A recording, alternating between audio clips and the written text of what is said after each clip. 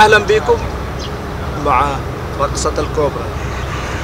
شفنا نسمع عن رقصة الكوبرا الكوبرا كيف الراجل بيقعد يزمر بتفرد رقبتها وبتقعد تتمايل طربا مع الموسيقى اللي بيعملها الحاوي زي ما بيسموها خلونا نتفق إنه الثعابين ما تسمع أي صوت عن طريق الهواء ما تسمعوا الثعابين. الثعابين عندها أذن داخلية بتسمع عن طريق الموجات اللي تنتقل عن طريق الأرض. طبعا الموضوع هذا مهم إنه نعرفه عشان نعرف لو شفنا احد بيكلم الثعابين أو بيزمر لها أو بيصفر لها نعرف إنه كلام غير صحيح. إيش اللي بيصير؟ كيف الكوبرا بترقص أو بنشوفها ترقص؟ الكوبرا بطبيعتها أول ما تتعرض لخطر أو تحس بخطر بتوقف. بتفرد منطقة الرقبة أو البنسوة زي ما بيسموها الراجل بيكون عنده زمارة طويلة وبيكون في اخرها عصاية بيحطها أمام الكوبرا وبيقعد يحركها يمين يسار فالكوبرا بالتالي تحس بخطورة تبدأ تتحرك مع العصاية على أساس إنها حاجة خطرة بالنسبة لها. مو على أساس إنها مبسوطة وفرحانة إنه الموسيقى ما شاء الله بترقصها الكوبرا بطبيعتها بتوقف شوية بتتعب فبترجع تنزل أو بتكون بشكل طبيعي.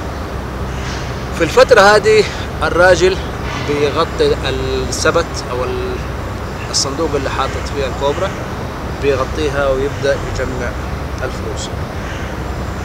ليش بيسووا موسيقى وليش بيسووا دوشة وليش بيقولوا إن الكوبرا بترقص؟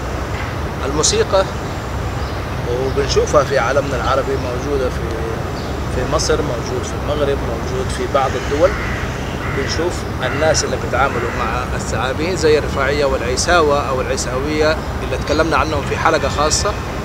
بيعملوا الموسيقى هذه عشان يجذبوا الناس.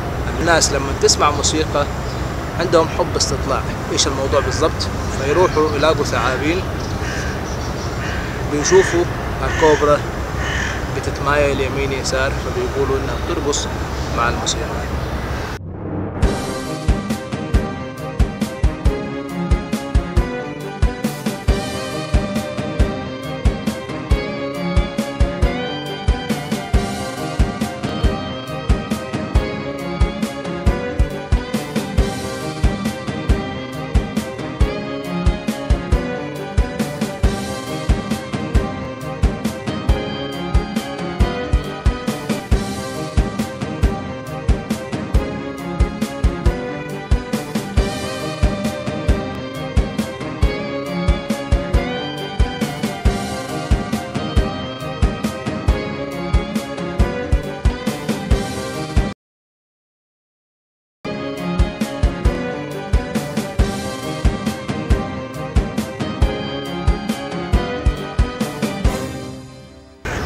تكلمنا في عدة مواضيع عن الثعابين. ناس كثير جدا بيستغلوا الناس بيستغلوا عدم معرفتهم عن الثعابين.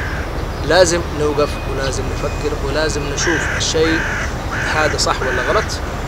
لو تأكدنا من صحته نخليه في الذاكرة عندنا.